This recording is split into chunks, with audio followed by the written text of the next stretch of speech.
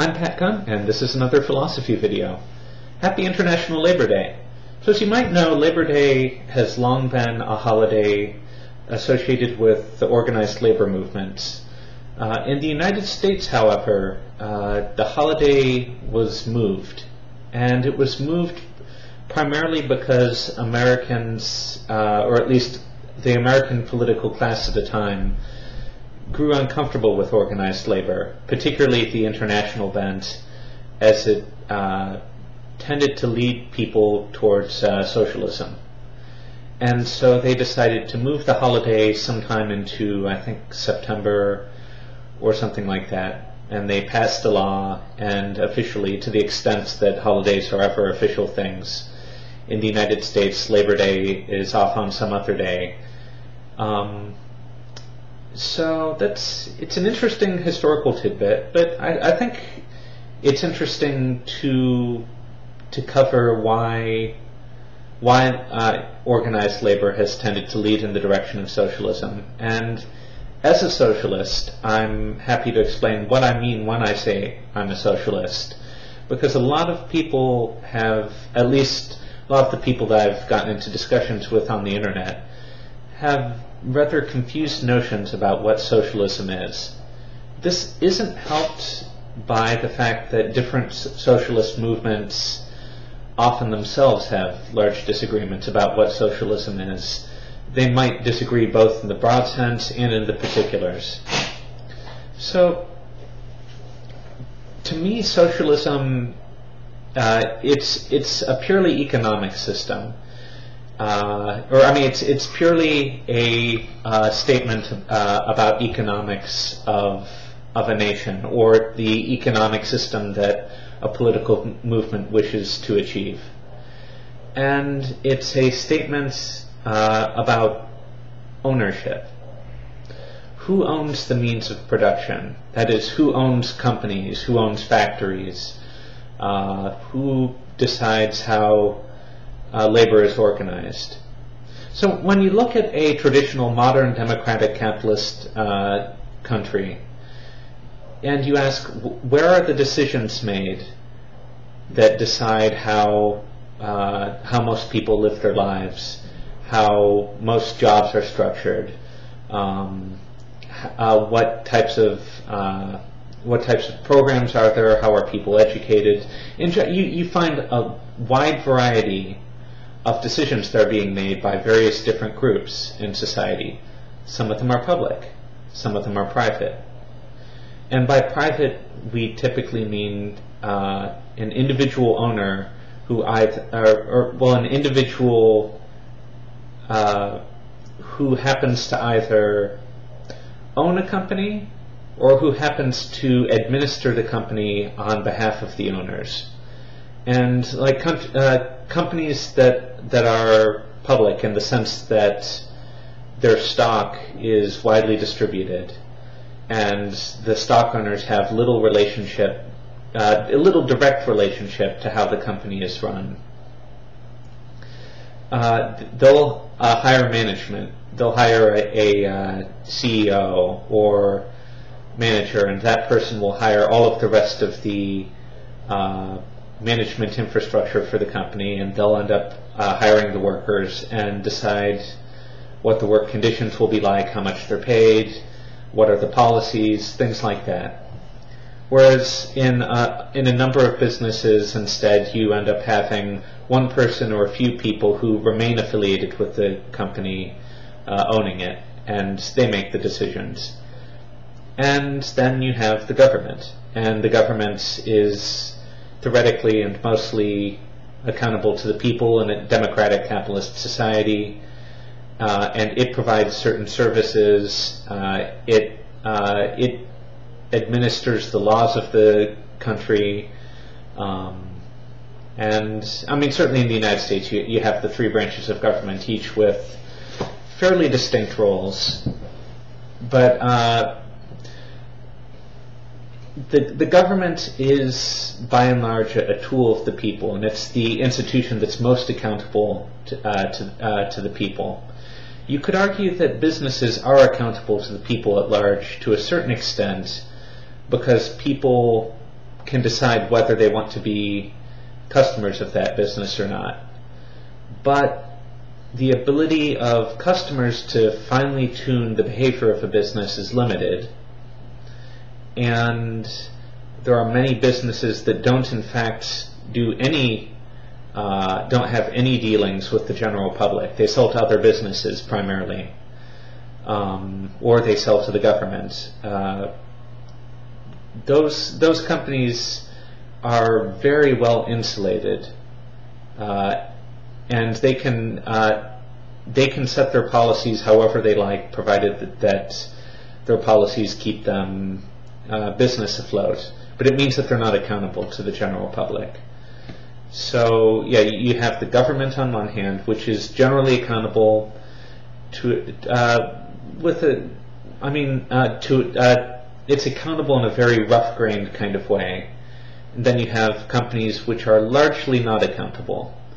And when it comes to the ability to set policy, uh, particularly with legislature, which is the branch of government that probably sees the most in involvement from the uh, from the general public, you uh, you end up seeing more accountability than the other two branches of government. And this this was by design. When the when the founders of the uh, United States uh, were setting up the government, they were looking at Machiavelli, in particular Machiavelli's discourses, and they saw the idea of a productive tension between different branches of society and thought that uh, that's a useful thing to have in a government.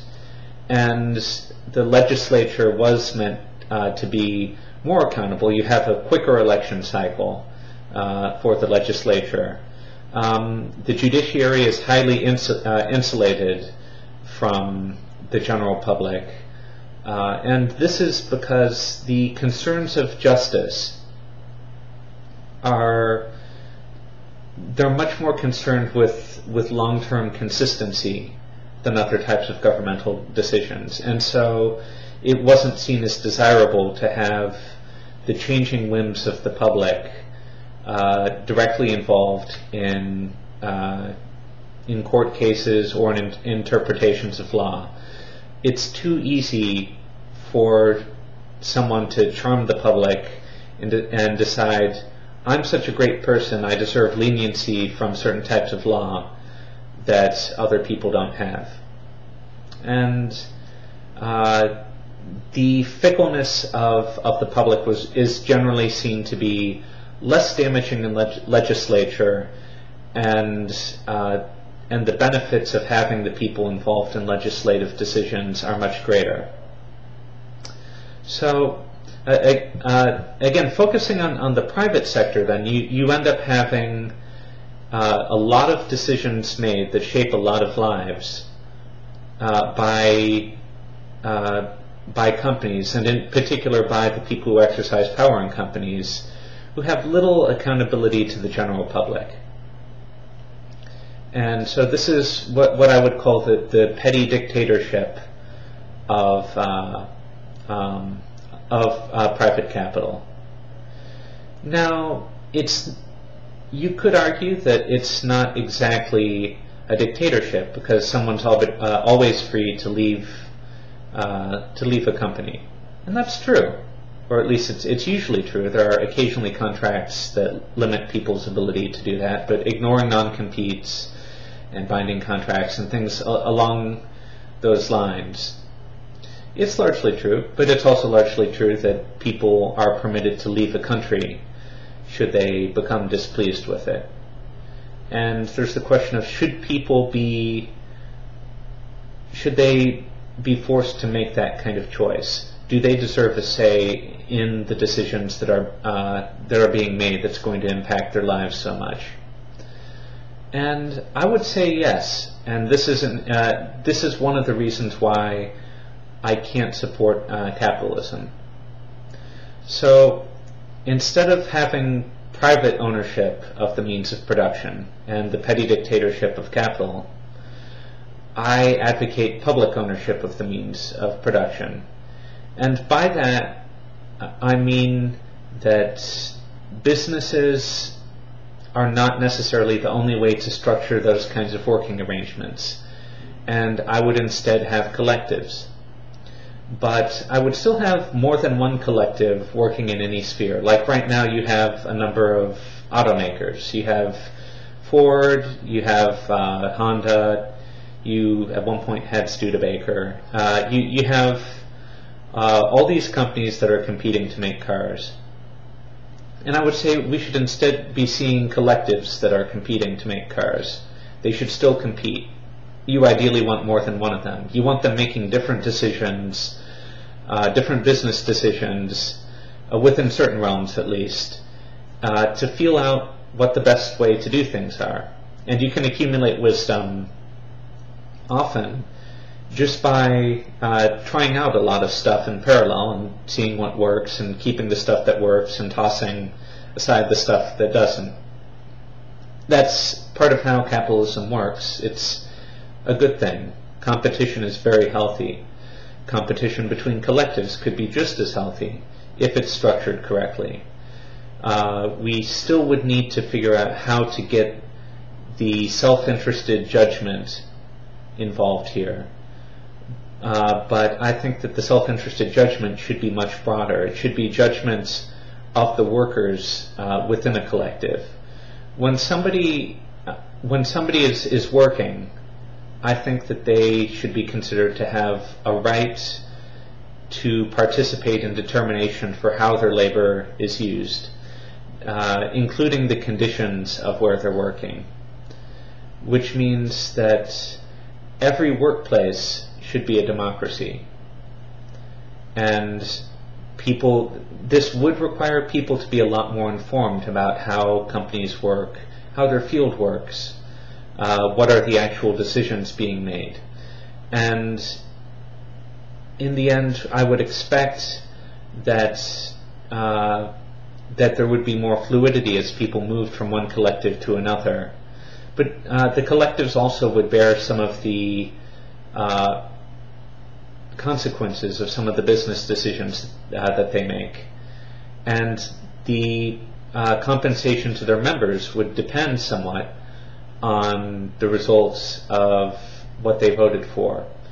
So ideally, this would humanize the business practice. If a company, uh, if a collective faced a decision between experimenting with a more ecologically friendly or a more uh, let's let's shift the example a, a, more ecologically risky but more efficient uh, measure or a more uh, more conservative uh, measure that that would be have relatively known risks to uh, to the environment and have relatively known production costs you ideally would have companies that are willing to explore both. And if they actually do end up creating an ecological disaster, that collective would have to pay a fine and it would come out of the general funds, which would impact the, uh, the wages that they would end up paying uh, their members.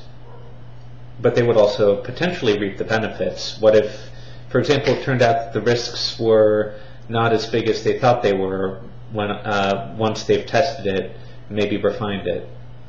And and in the private sector, in our existing economies, this kind of calculation happens all the time.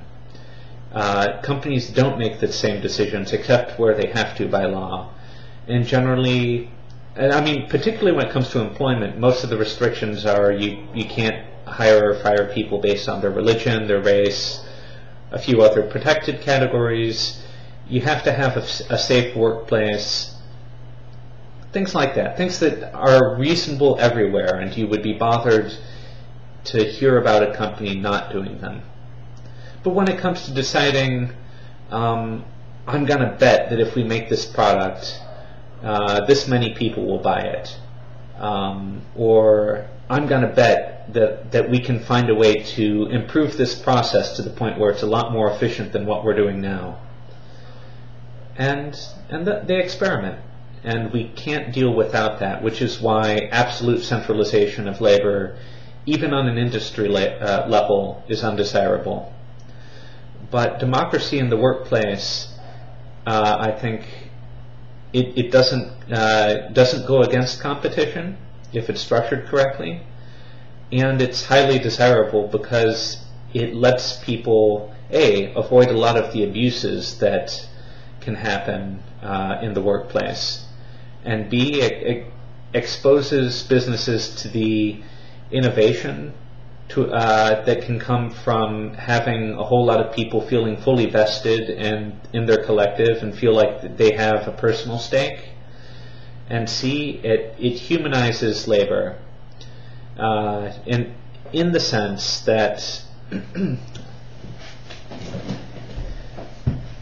ah, sorry, it, uh, it humanizes labor in the sense that they you no longer have this divide between workers and uh, and employers.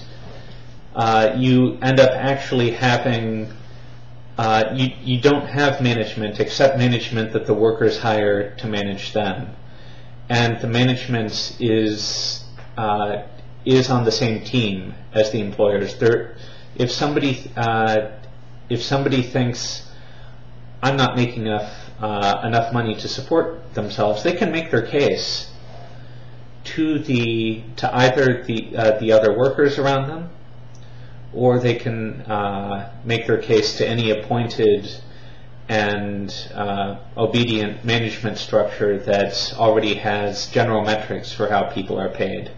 And if they have issues with safety, they bring it up. They talk with all the rest of the workers, uh, and actually being responsible for the well-being of the company uh, or the collective, I should say, means that the workers are, uh, their demands have to be reasonable. Uh, and they have, and not only do they have to be reasonable, but they're responsible for their reasonability.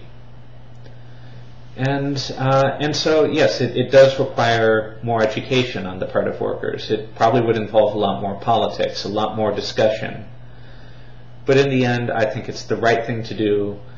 Uh, I hope that it, it would lead to greater efficiency, but even if it didn't, that's okay. Uh, I think it's enough to, to feel that it's the right thing to do.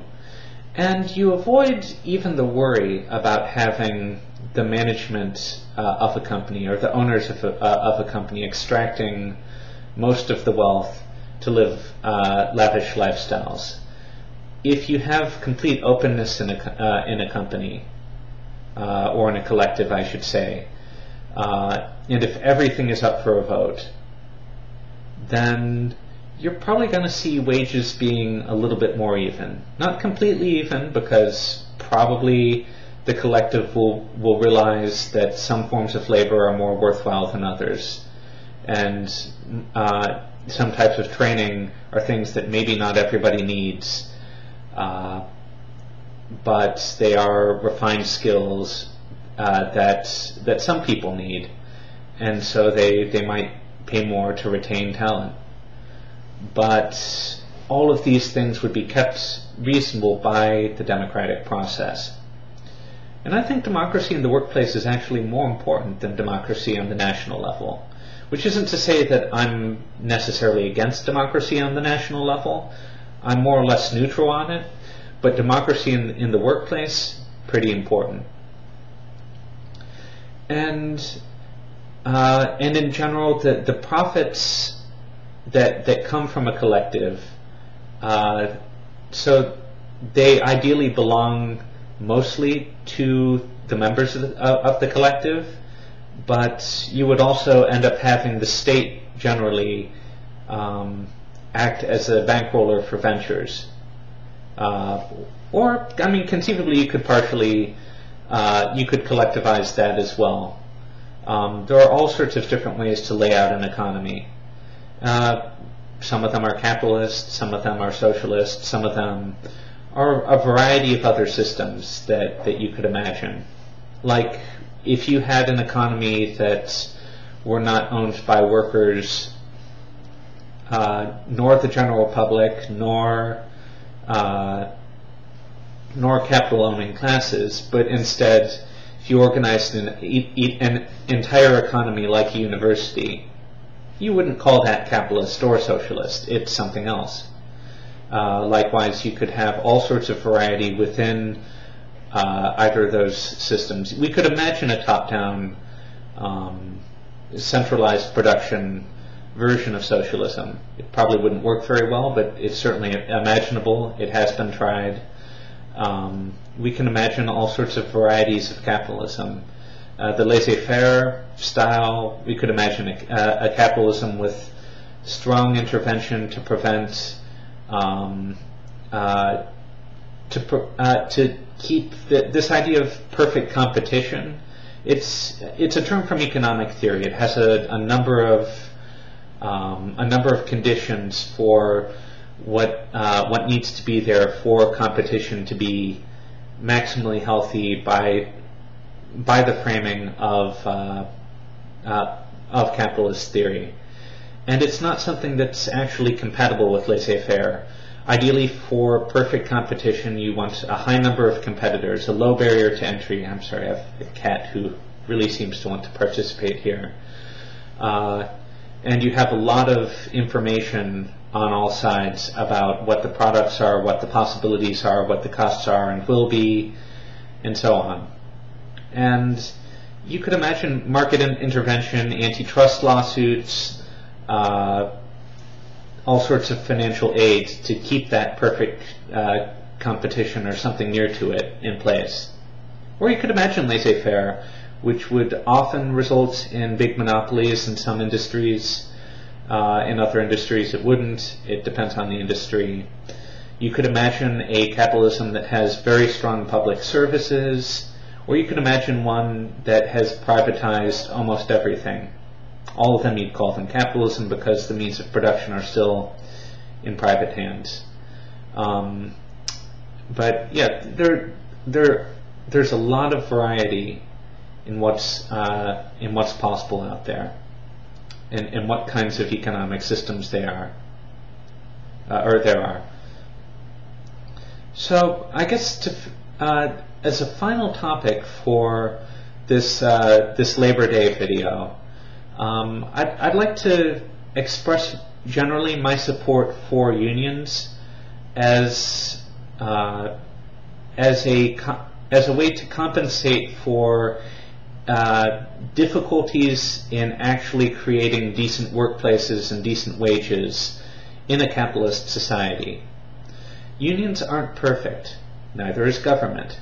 That's not a reason to hate them, it's not a reason to try and dismantle them. They're, uh, we're better off with them than without them. Uh, unions often, because of their advers- uh, adversarial nature with uh, with businesses, which isn't always there. Um, one sec. Uh, they often make demands that are not uh, reasonable for a business because they're purely in the interest of advancing the interests of their workers, uh, and because they're absent from the business decisions. They neither have the accountability for the policies they request, nor the knowledge needed to to know what amount of the profit uh, they can manage to uh, to push into wages. And those have limited their functionality. You, you also end up having some types of in institutionalized corruption within the union structure. It happens. Same thing with, with uh, government, uh, particularly with the military-industrial complex. But you have to compare them to uh, the business owners. Business owners typically see their workers as resources, nothing more. They're in the business of maximizing profit. Now, this isn't always the case for small businesses, particularly because in, in small businesses, they often get a kind of family atmosphere. Um, they uh, they treat uh, they treat their workers as as members of the business family. They share the profits relatively well with them. Uh, they're engaging with them as humans. They don't have this policy layer of it's our business policy to do X, and if you're not comfortable with that, you can hit the road. Uh, or if you have a particular need that's not meetable completely generically, uh, it's just not going to happen. Uh, like if I mean, but before we had regulations on this topic, if somebody uh, was on crutches and had a tough time with stairs, uh, they uh, a small business owner probably would be willing to, to help them get up the uh, the stairs or would put down a ramp or something like that. A large business probably would just say, well, we'd rather just hire somebody who doesn't have that problem. You can hit the road. We'll, uh, we'll put out an ad and get somebody new. That's uh, that's a problem. But um, when you ended up having organized labor, uh, they they recognized that some people uh, became very very rich through uh, organizing companies. Andrew Carnegie, great example. Um, and most of the workers were still struggling to get by. So they organized strikes and sit-ins, and uh, they would blockade entrances to factories, uh, and they would unionize, and they would demand better conditions, better pay, uh, and eventually, over a very, very long time, we got down to the eight-hour workday. We uh, ended up not having kids uh, working dangerous factory equipment. Uh, we had safer working conditions. We had negotiations between workers and employers. That's a very good thing. It's a very healthy thing. Um, because in the existing relations, even though it was great that, that people had jobs, they had very little say. They got a little bit more say thanks to organized labor. And they've kept it thanks to organized labor. And uh, and unions were essential to this. They started this type of negotiation process with employers. I'm glad that unions existed. I'm glad that unions still exist, despite many of the well-publicized issues with corruption that they've had. Because if you consider what they're up against, if you consider the, the kinds of money grabbing that happens with employers, uh, the very, very large slices of profit that go into management and the relatively smaller slices that go into um, go into the the people who actually make whatever it is that's being sold. You begin to think that the system itself is continually performing an injustice uh, through that uh, division of, uh, of profits. And the the problems that you see in unions, they're not that big. And unions generally are more or less democratic. Uh, they make their decisions together about how to do various things, about what their demands should be. That type of participation is fantastic. And I just think that eventually we want to complete it by moving to collectives. Uh, and so that uh, that generally uh, that concludes this video. Uh, I hope you have a great Labor Day. I hope some of these uh, these thoughts have at least been interesting for you. You don't have to disagree with them. If uh, if you want to uh, want to comment, at least for a certain amount of time, I'd be uh, I'd be happy to chat with you in the comments section below on the video. Um, and because this topic is of particular interest to me, eventually I stop reading the comments uh, on a video and go off and do other things. If I'm non-responsive after a certain amount of time, drop me an email and uh, we can chat about it. Uh, maybe I'll do another video with a follow-up on some of your questions or arguments. Maybe I'll blog about it. Maybe we'll just have a nice exchange of emails. Um, but yes, I'm proud of the labor movement. Uh, I like unions, uh, and I think that we have a lot to thank the labor union for, both historically and nowadays. Thanks.